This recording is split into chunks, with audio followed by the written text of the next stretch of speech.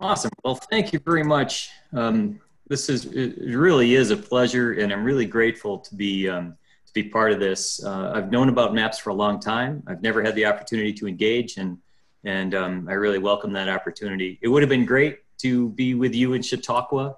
Chautauqua holds a, a fond memory in my in my heart. Um, uh, interesting story. Uh, my sister went to the Chautauqua Institute for Music during summers while she was getting her engineering degree from Union College. So she's one of those, you know. But uh, Chautauqua was a neat place, and maybe a rain check. Maybe we can get together and have a hospitality and um, and uh, have a beer together and and um, get that full conference experience. Uh, it's kind of interesting. Speaking of the full conference experience, it just happens that the full NSGIC conference is happening this week, and that was moved from New Orleans to virtual, and we're trying to do everything we can uh, to make that the uh, full conference experience. So, you know, we stayed up too late last night and we talked in small groups and um, that was all fun, but I woke up energized and, you know, I had a, a, bagel that I toasted myself and a few grapes. And, you know, I was thinking about drinking coffee out of a paper cup, uh, you know, with, with, a lid on it.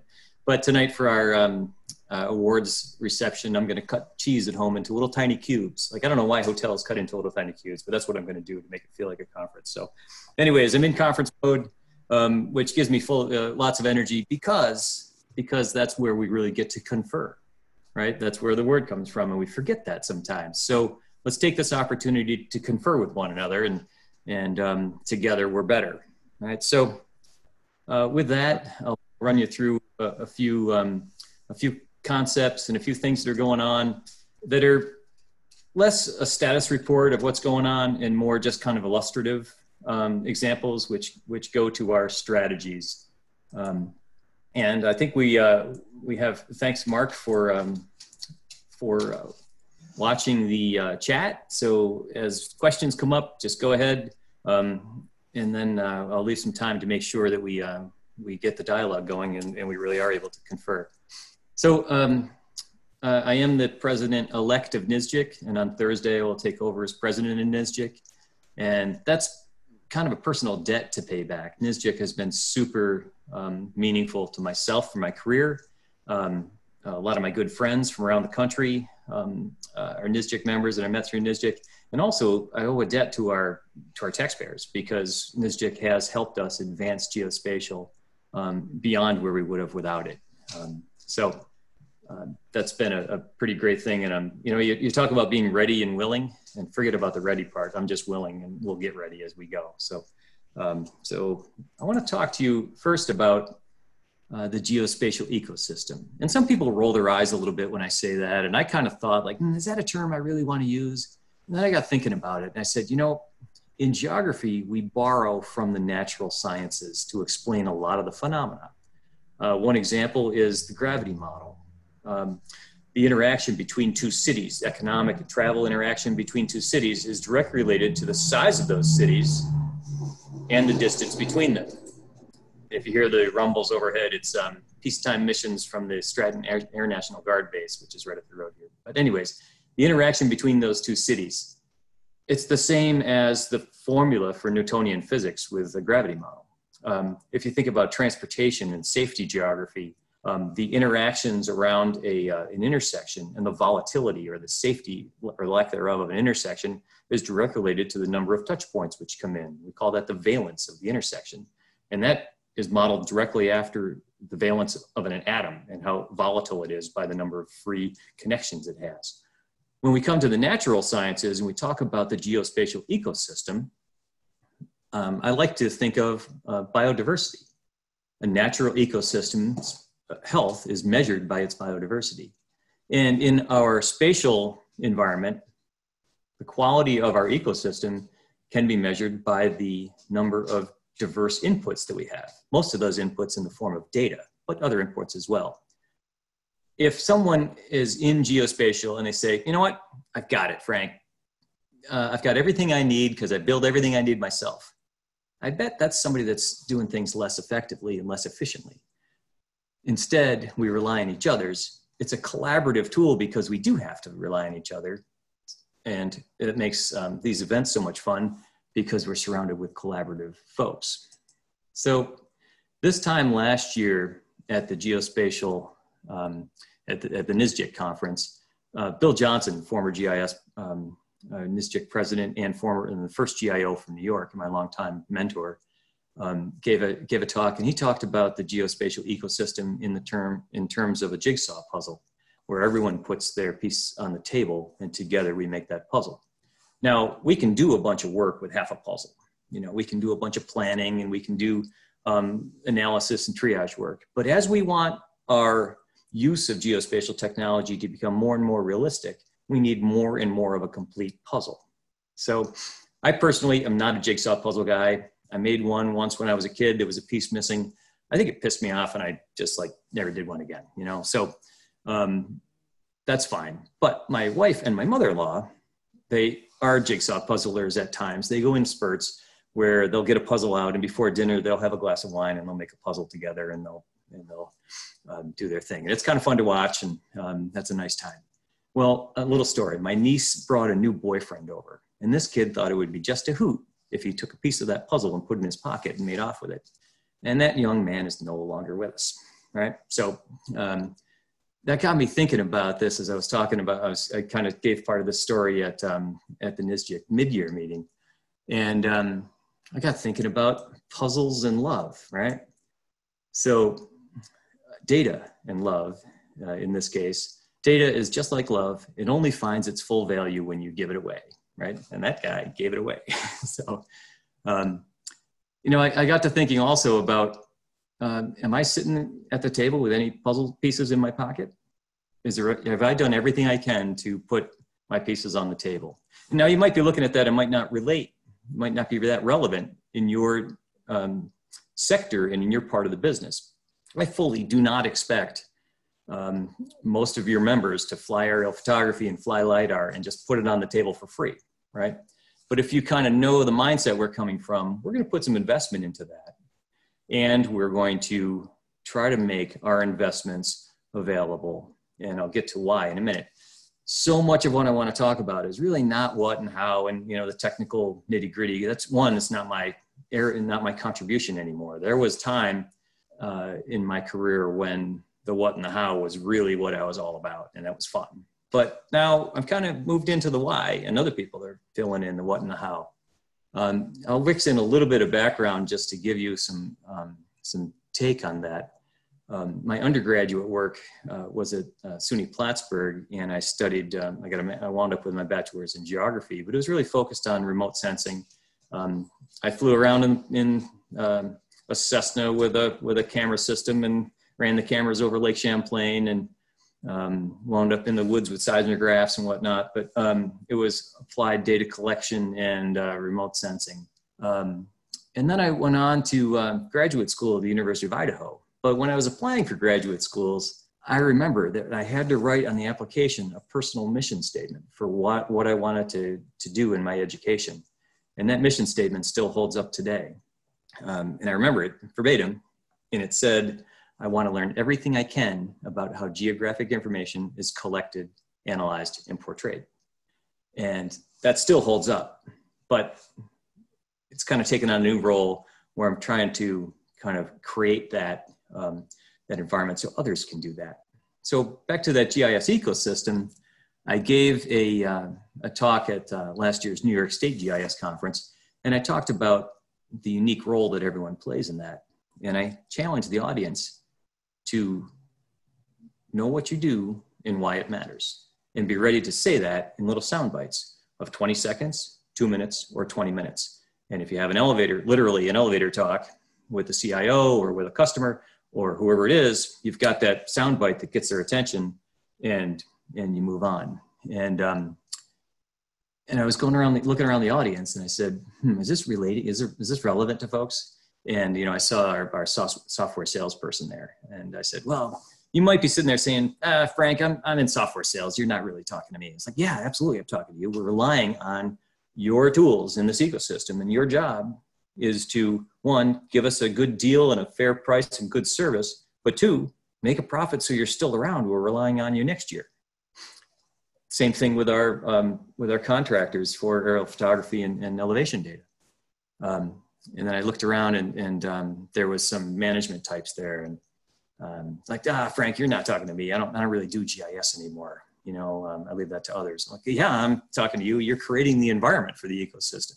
So, ah, Frank, you're not talking to me. I'm, you know, I just started my career and I'm just, I just digitize data. It's like, yeah, you're building the phytoplankton for the ecosystem. And I looked around, there's some students in the room and, and I said, um, you know, uh, Frank, you're not, you're not talking to me. I'm, I'm really just finishing up my degree and I just need a job. You know, I got loans to pay off. Like, well, yeah, I am talking to you. You're the future, right? And all this is for naught if when we go away and retire, there aren't people who have carried this on and created the culture. The geospatial industry is not something that is just going to be assigned from above. So think about that for a minute. Only about 5% of the things that I've done in my career have been assigned from above. We have taken the pulse of our stakeholder community, figured out what is necessary to be relevant and make a difference, and then sought support to, for those programs. Those things that I'm now measured on are things that we've put in our, in, in our own path, which is pretty great, but it's a huge responsibility to make sure that we cultivate that culture so that that continues because we know we're, we're um, enjoying great return on investment and we're leaving things better than we found them. We want to leave them in a sustainable way. Part of that I'll get to later is the challenges in, in continuing our culture, whether that's a culture within our state agencies, our local governments, or in your companies or in your not-for-profits. Um, those culture um, things are one of the one of the things that we focus on. And how about this for a soundbite? I'll credit Jason Baum, who's on my team. Leaders are the stewards of an institution's culture, right? So part of this conferring with one another is to um, create more resolve around that. Um, these things are easy to not talk about, but when we're out in a setting like this, it brings it right into the front of our minds. We speak it, we live it, and um, and others hear it, and we kind of collect mass around that. So, uh, into a little bit of a change in pace here. You may be familiar with the relationship between scale and cost, right? And you certainly understand as you're as you're planning to uh, respond to um, to bids or, or you're planning uh, a budget that the larger the scale, the higher the cost. And in this case, you know, I've represented that as there's no axes on here, but it's a but it's a logarithmic. It's an exponential um, curve that if we get to um, a, a, full representation of the Earth in all of its detail, we would have infinite cost, right? Um, so where is that? Where is the um, the sweet spot on that curve? The other thing that I that I um, occurred to me in, in, preparing for this, and by the way, I've had a sticky note on my on my monitor for um, ever since summer. Um, just excited about hey, what, what, should I what should I talk about in maps? You know, I was write these little ideas down. I threw half of them away, and um, you know, but this was one of them. But one of the things that occurs to me is that along this curve, there are things that flatten it for a while, and so there's bumps. This isn't a smooth curve.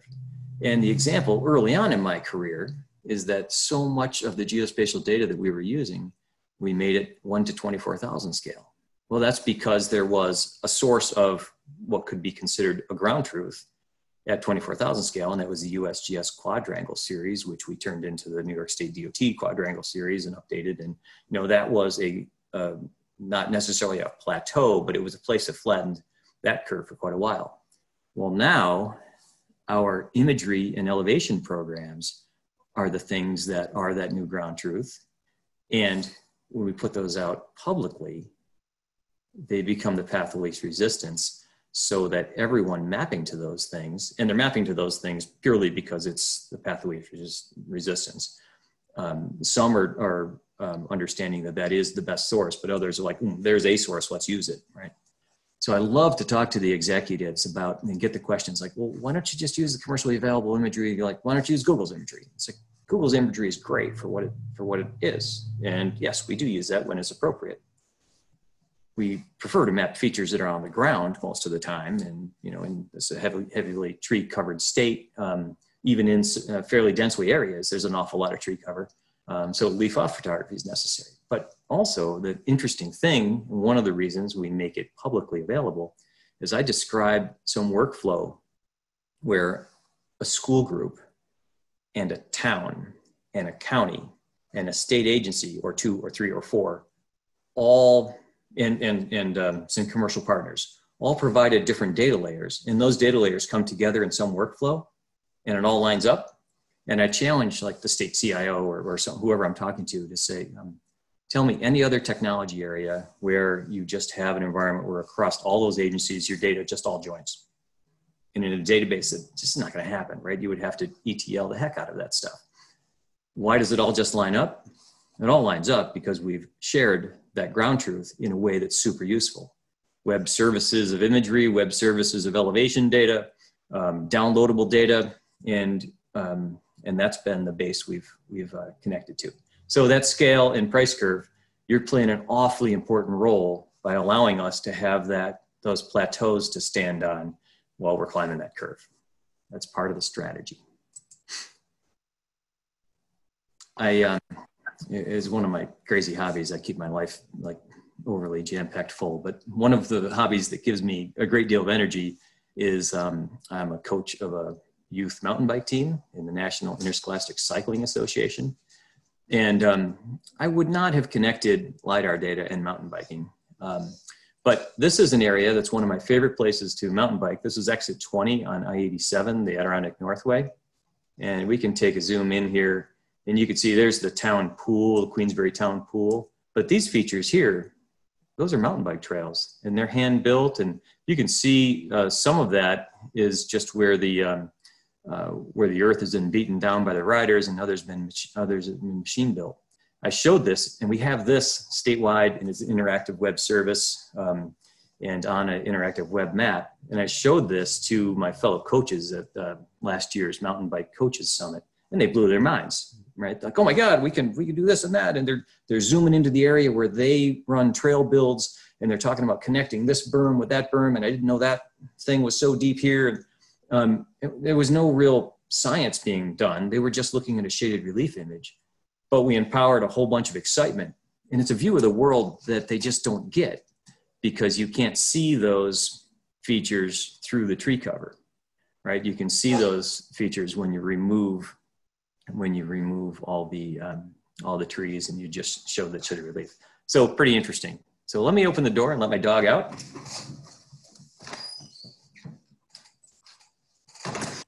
I predicted in three slides he'll want to come back. So um, there was Otto.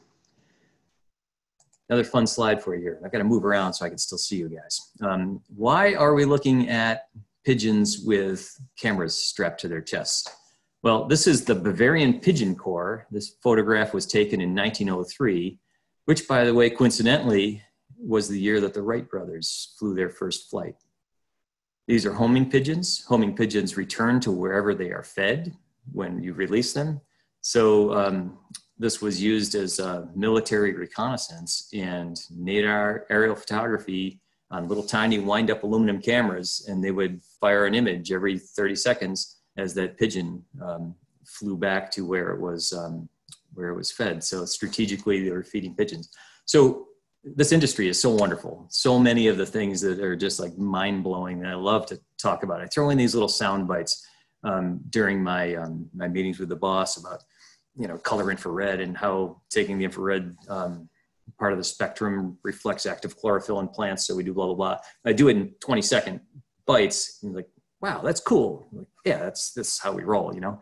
But this is the kind of innovation that has been happening for the entire last century, um, and um, and it just shows the innovation of the industry and how it just continues to progress the people that were flying aerial photography from pigeons did not wait for the aircraft to be to be um, invented and perfected in order to do that. So there's an awful lot of innovation that we can just do out of necessity while we're waiting for other things to happen. So just want to throw that out there as hats off to your whole industry for um, 120 years or more of, of innovation.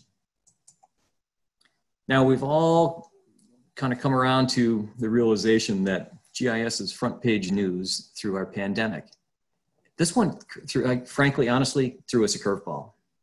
Every disaster, man made or natural, the floodwaters, the forest fires, the um, terrorist attacks, no matter what it is, it seems like aerial photography, elevation data, property parcels are key components to this. This one, we're looking around like, hmm, you can't really see COVID on an aerial photograph. And is there a role for elevation and parcel data? And um, are the relationships that we have fostered with all of the folks who typically run emergencies, are those going to um, going to pay off like they always do?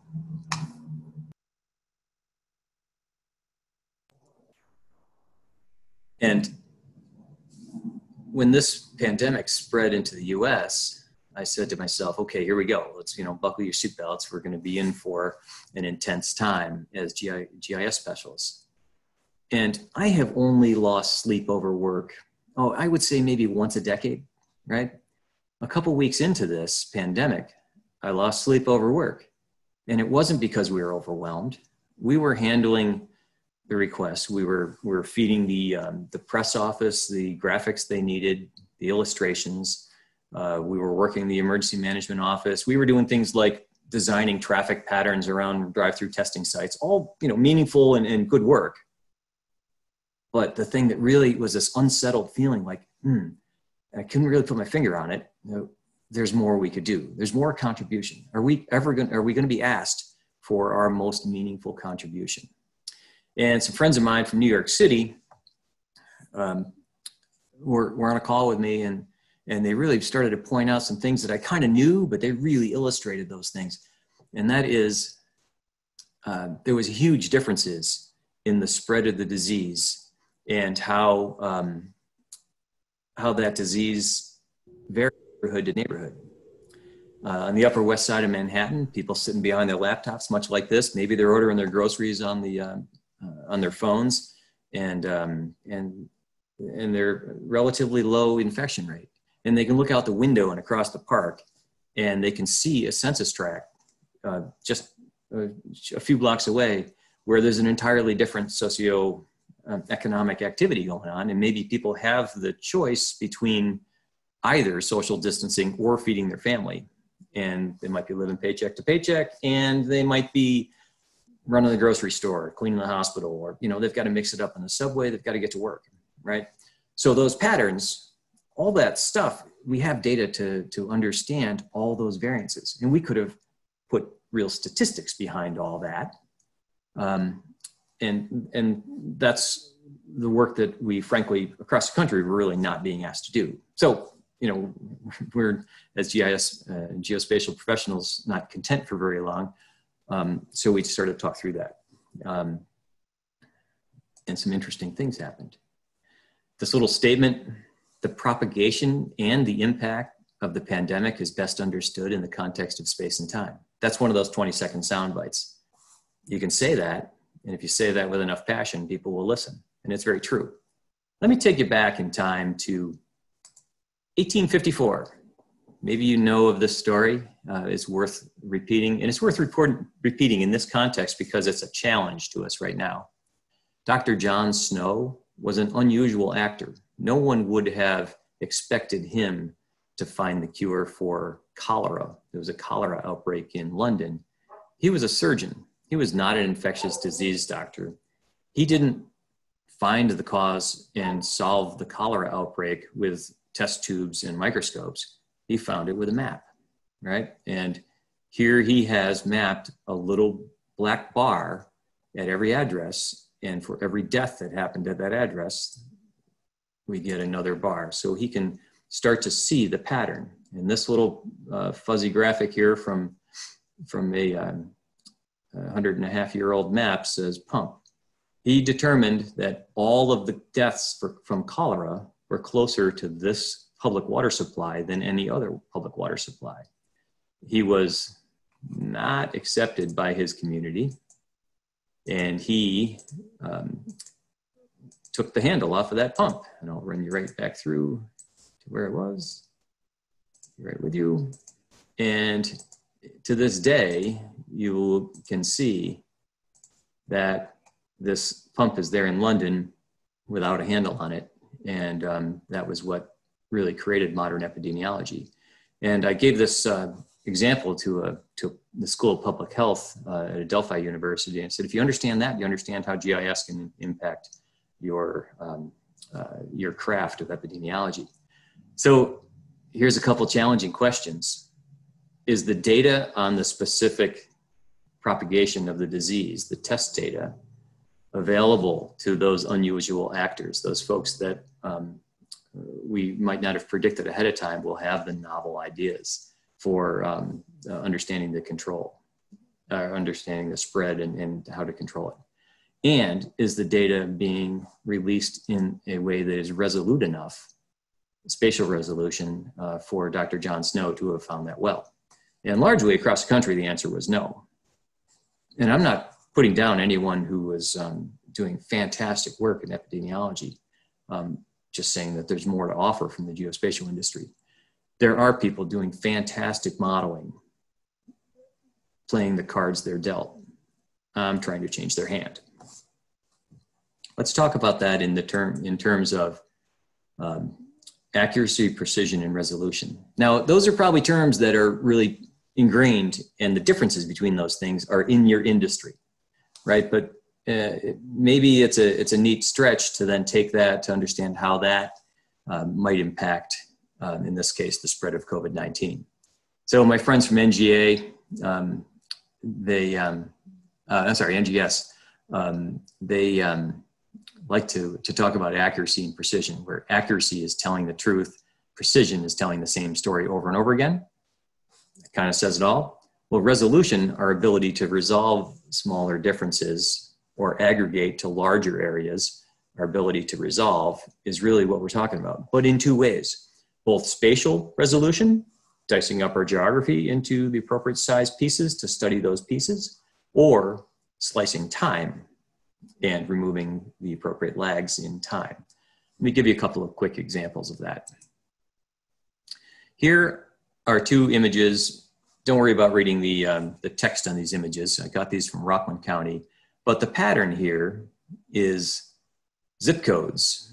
And these are uh, on, our, on the left, we have um, COVID cases by zip code at a particular slice in time. Far more useful than the whole county being shaded as one, um, as one color. But then on the right, we see a pattern of the exact same data being aggregated by census tract. And it gives you a radically different view, particularly in the um, south central and southeast corner of the county, right? It's a very different story than you would get from the map if you looked at that by zip code. And it, particularly when we zoom in, look at this, uh, these two census tracts um, that I'm zooming into here in, in uh, almost the white shading. And um, they're surrounded by census tracts that are uh, much higher uh, infection rates. And how could that be? Well, the people that know the area know that that is a very homogeneous religious community, and they may have just decided to stop being tested, right? So there's a different action to take, a different help um, to be um, to be given by government uh, when you know about those anomalous things. Why is that? Uh, why is those two sense? Why are those two census tracts standing out? And then we go further and we take the same data and we break it further and we analyze it by census block group, yet a smaller unit of geography, and we see a still greater um, difference.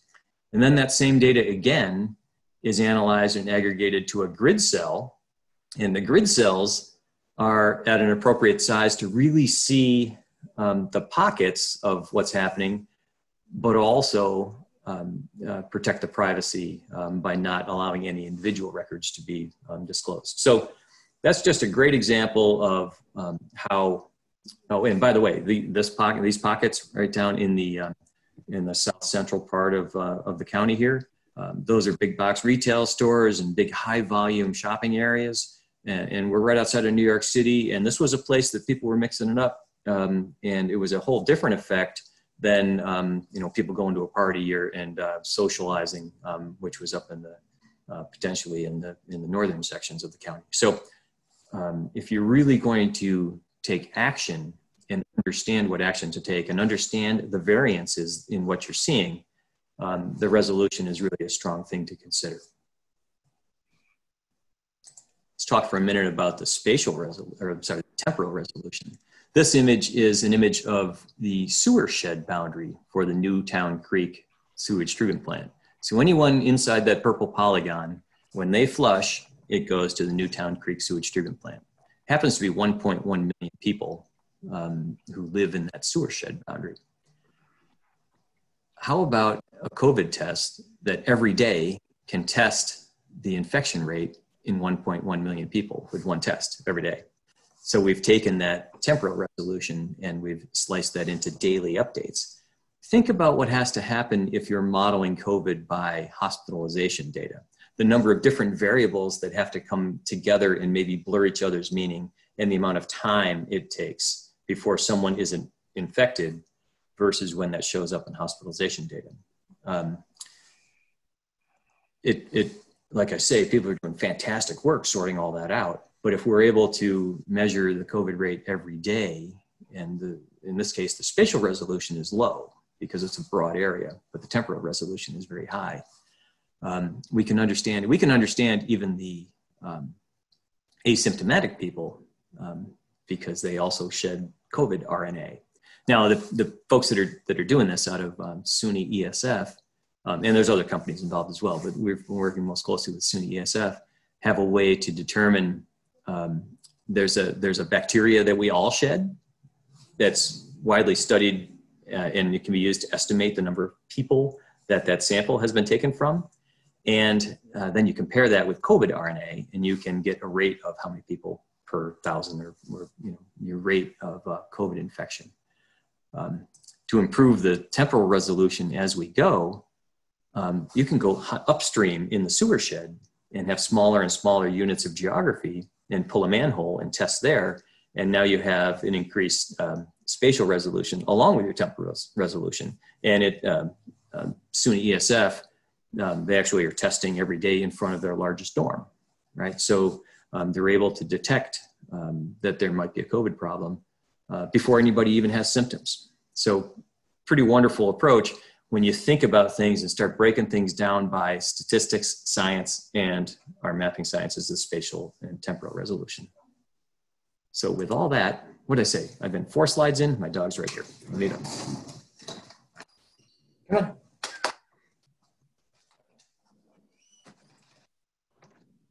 Okay, sorry, I caught his tail on the door. He's all right. So with that, we, uh, we started um, uh, I, I, put a little two pager together and I sent it up to um, through my NSGIC uh, colleagues.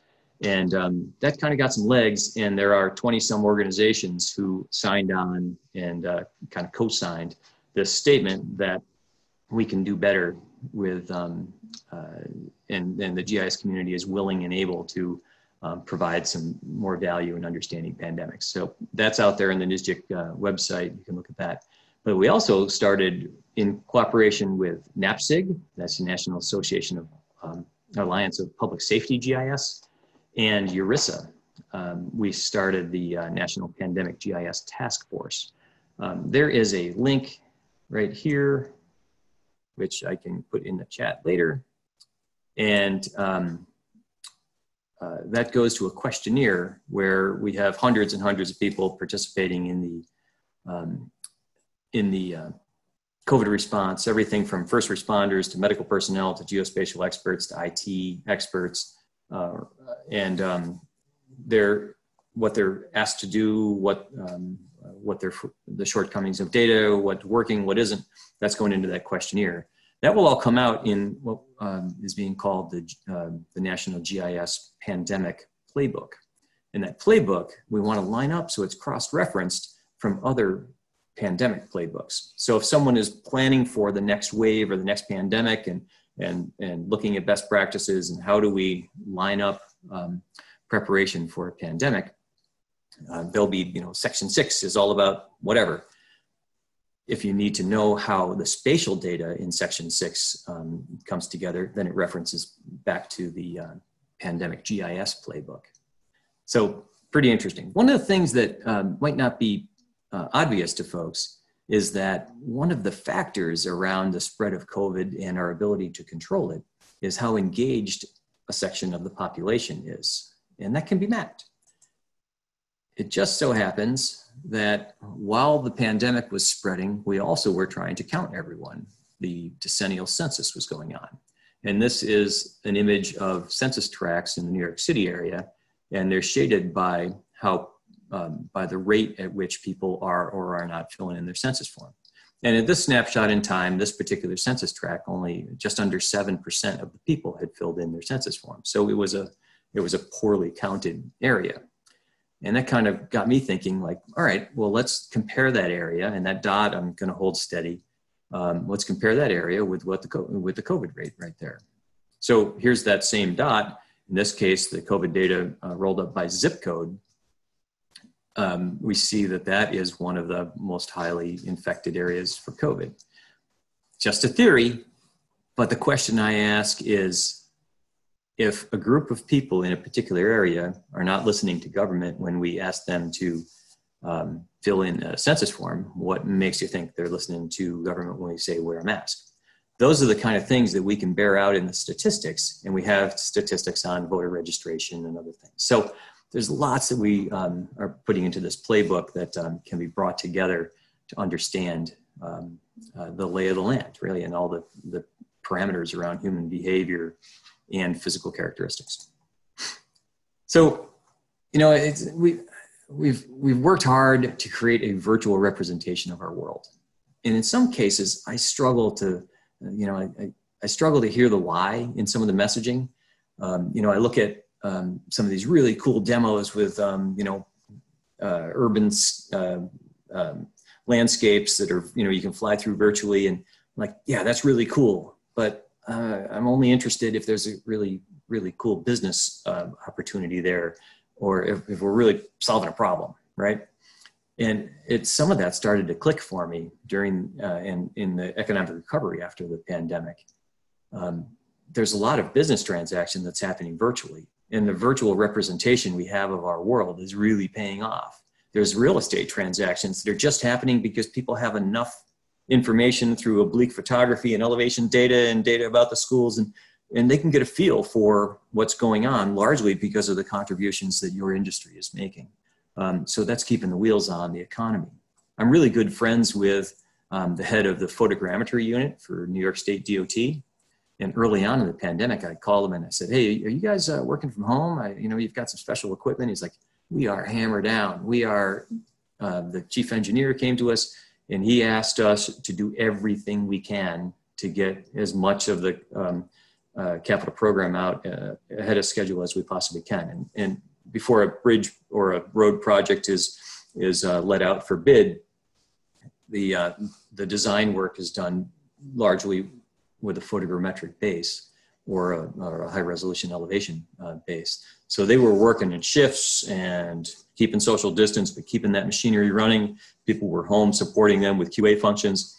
And, they, and the reason was that the construction industry, particularly highway construction, was one of the first things that's going to keep the wheels on our economy.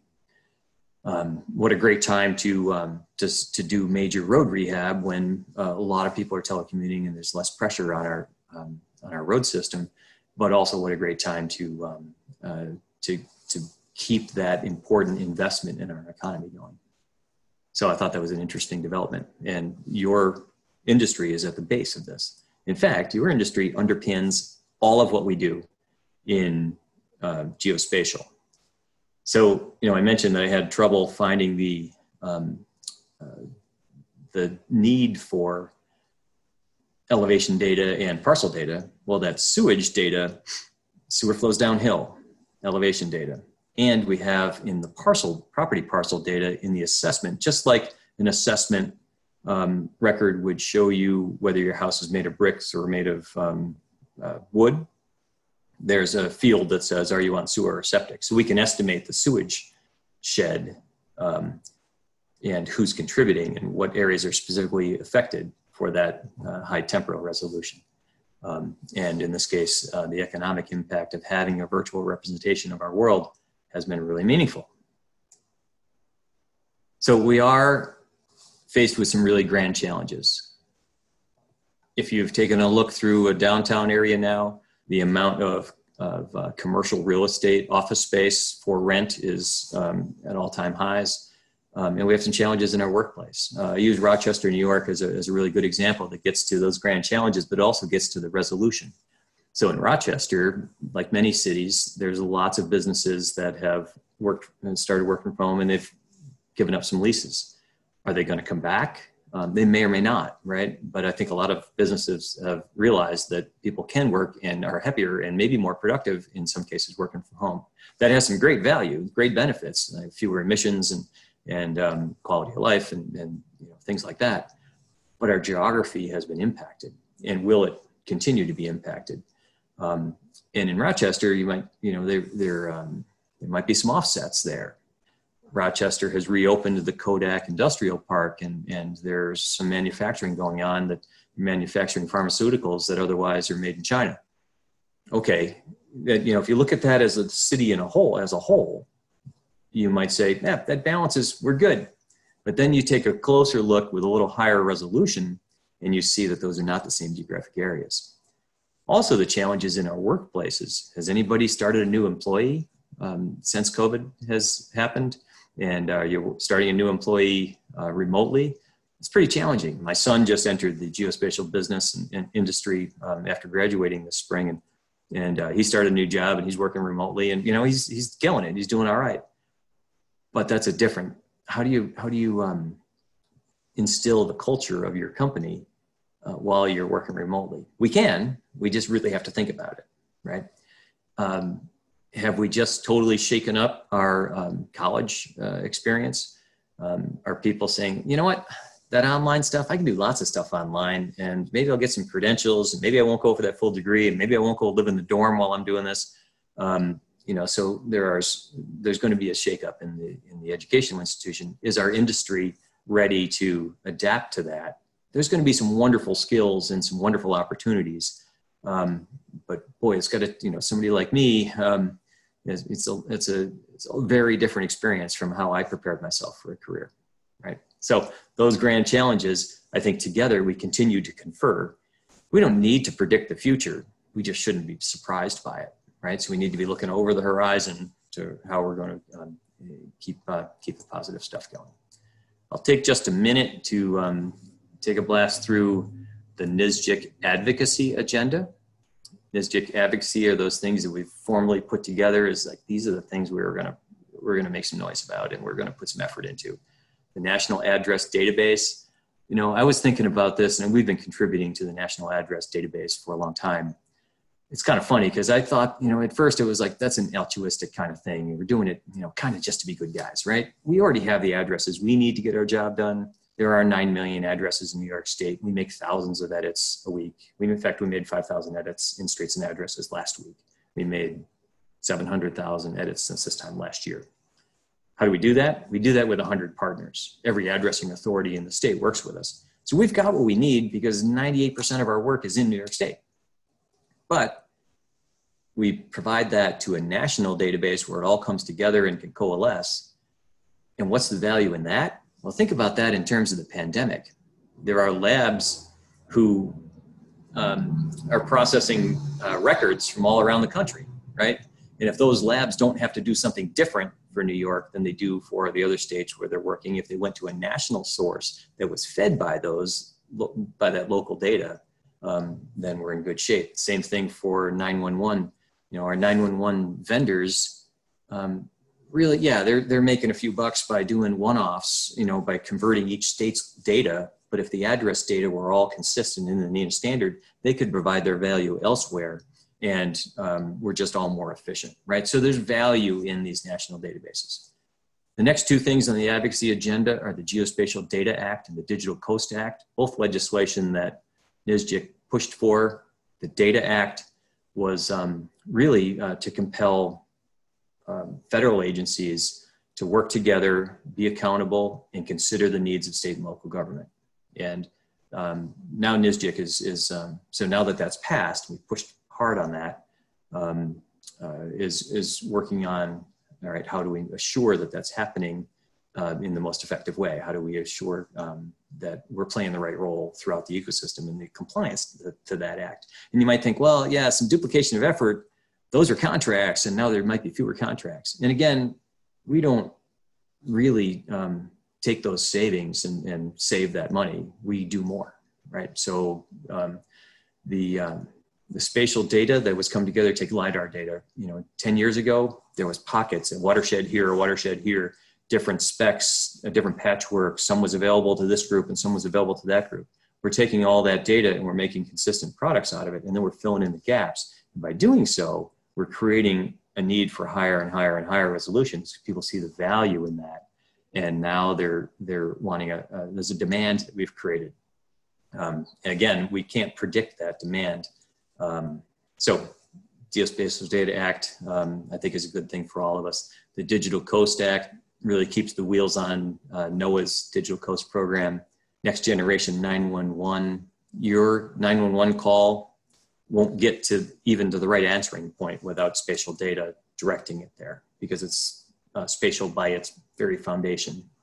Um, uh, the NAIP program, uh, we need to keep beating that drum to say, yeah, there is value besides um, the federal um, agriculture value in that. There is value across the country for lots of people with NAIP, and we need to keep that program funded. Um, and the next one's fairly new one. It's near and dear to my heart. That's uh, data feeds from authoritative sources to wayfinding and GPS companies. The soundbite on that goes like GPS and, and um, wayfinding apps have completely changed the traffic safety landscape in the country. Some cases for the good. I know I'm a better driver when I know that the exit that I'm looking for is up ahead and it's on the left when I'm driving through Boston or some city I'm not familiar with. But we also know that people are misusing that technology and blindly following it into all kinds of wacky situations.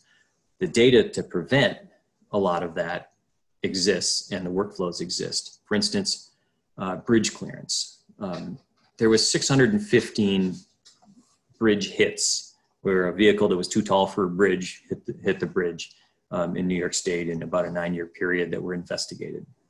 Um, we're not talking about the kind of bridges where, uh, where a truck that could hit it was so tall that it needs a special permit.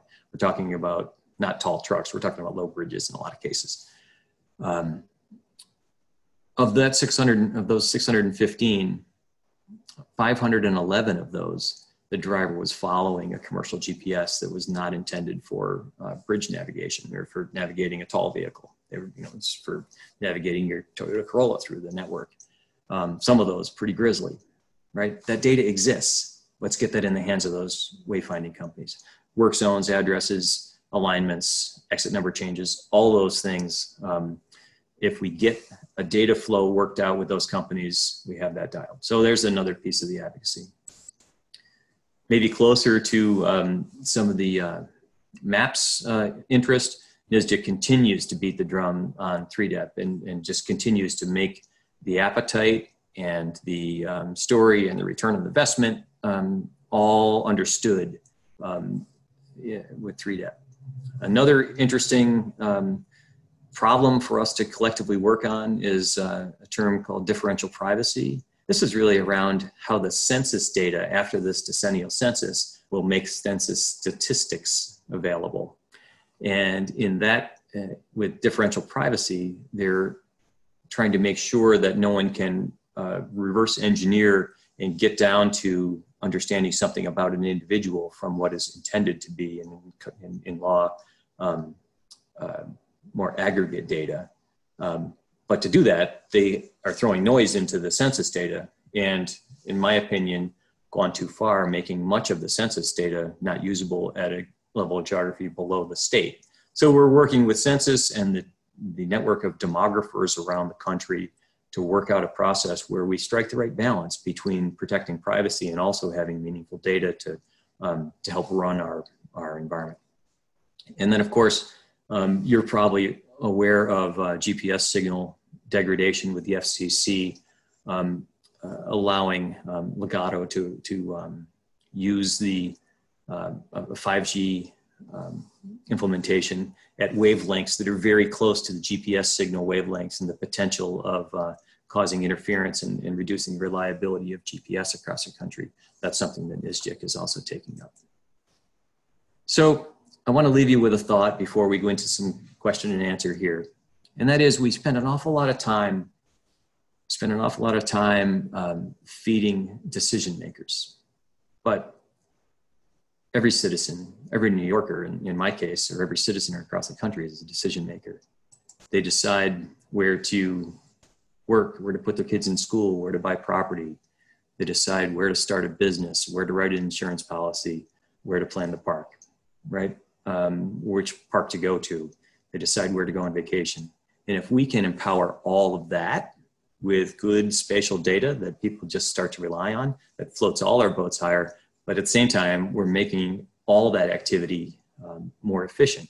And my my statement I'd make to our executives in New York is we want to move the dial on the economy.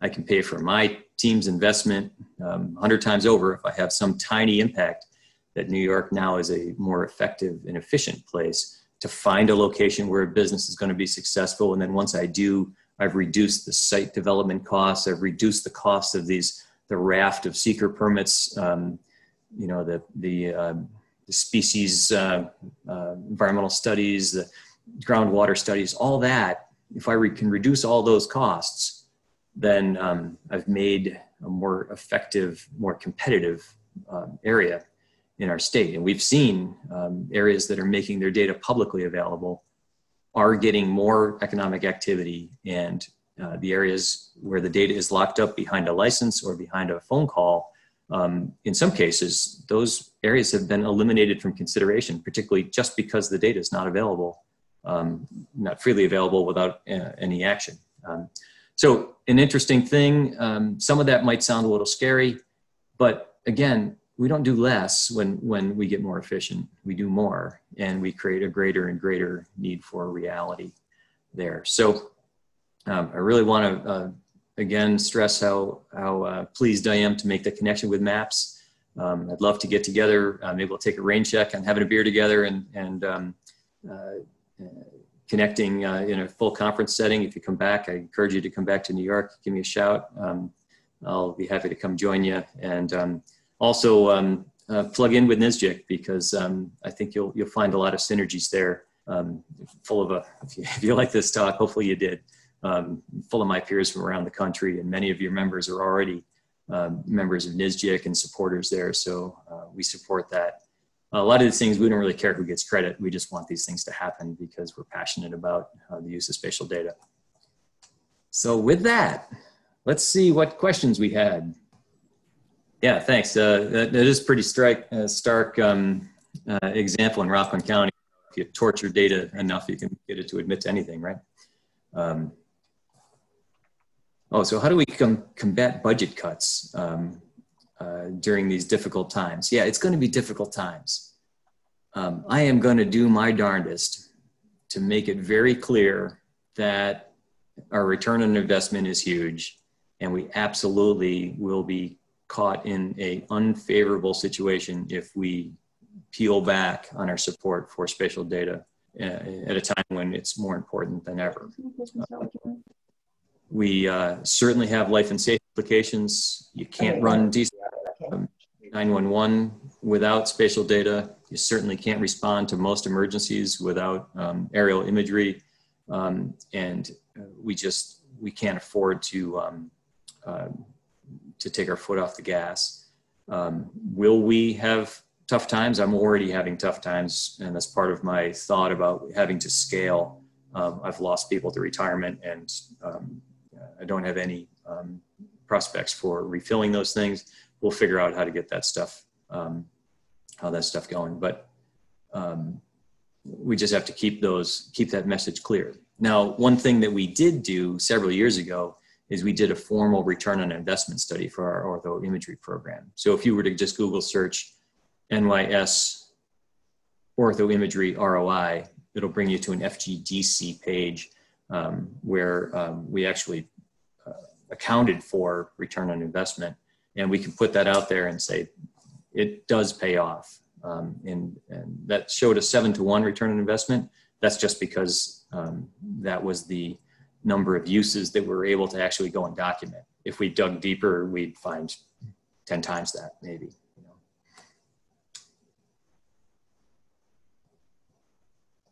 know. Uh, University of Idaho, go Vandals. Right on. That's good. Um, pandemic playbook. Okay. Uh, federal agencies. Um, so I have talked to federal agencies, and the question is, are the federal agencies participating? Um, I have talked to federal agencies. Federal agencies participated in our two hot wash sessions and have given us feedback in the um, questionnaire. Um, but one of the things that um, uh, we're going to, to focus on is the federal to state to local government interactions that, that have to happen. So um, yes, they're engaged. They're not um, uh, as plugged in into the um, actually rolling up our sleeves and getting the work done because they're completely consumed uh, with the good work they're doing. Um, but they're certainly a target and they are providing their input. Yep.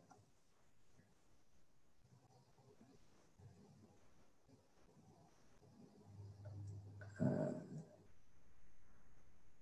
oh, so accuracy talking about big data. Um, that's that's a really um, interesting. Um, so we're talking about big data or crowdsourced data, and how do you do how do you um, do that in the same sentence? And I have one example that illustrates a way that can happen. But in general, it's kind of like um, if you had um, a thousand cell phones go over a new road alignment. Could you take the average of all of their lines and find the center line? Probably. You know, it would take some statistics to really um, to really show that we've just defined the new center line of where cars are actually driving. But the example I like to use is um, on our address database, we make our addresses publicly available and we make them available through an address geocoder. Well, we can have millions of transactions against that address geocoder and those transactions can all be logged. We can determine that, okay, we're supposed to be getting address points because we should have every address nailed down and is backed up by the street segments. So we can determine that a thousand people asked for 10 Pine Street and we gave them back a street segment.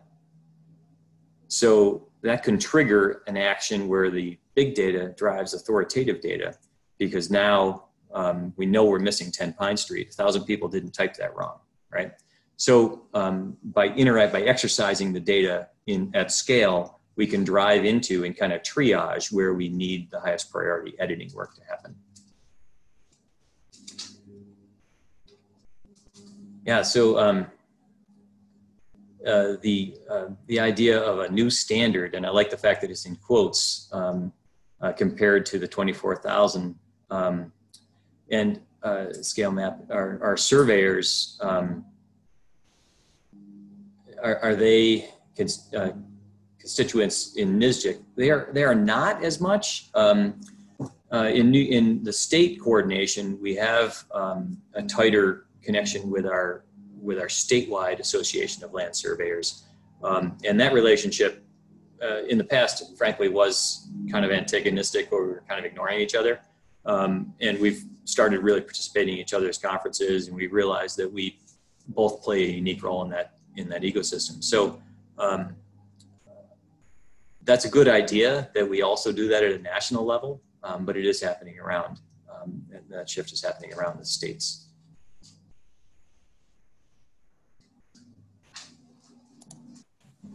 All right, so um, that brings us right to the uh, close of the session. And I really appreciate being here, and um, thanks for having me. Timing. Frank, thank you very much for that. Um,